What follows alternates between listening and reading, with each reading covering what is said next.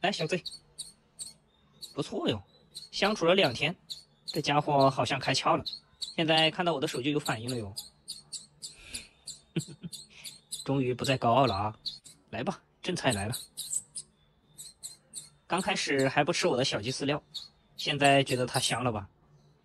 抢着吃哎，棍子都差点给我吞进去了。再来。哎呀，感觉我这棍子都是从它喉咙里拖出来的。来，